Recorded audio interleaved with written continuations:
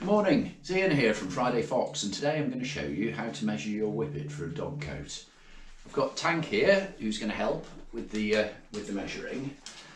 Now if you take a soft tape and you measure your dog from the base of his neck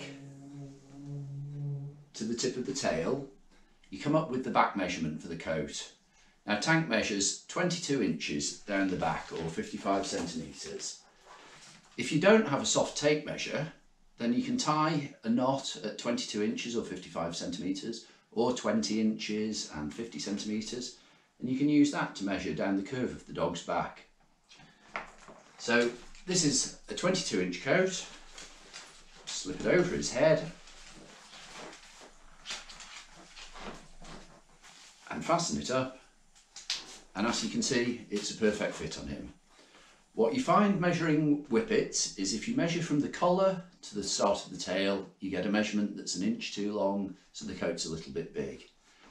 If Tank was a bitch rather than a dog, we could wear a slightly larger coat on him because the strap wouldn't get in the way when he was having a wee. But as he's a dog, he needs a coat that's really quite a good fit on him. I hope that helps, but if you need any further information, please get in touch with us here at Friday Fox. So from Tank and myself, thank you.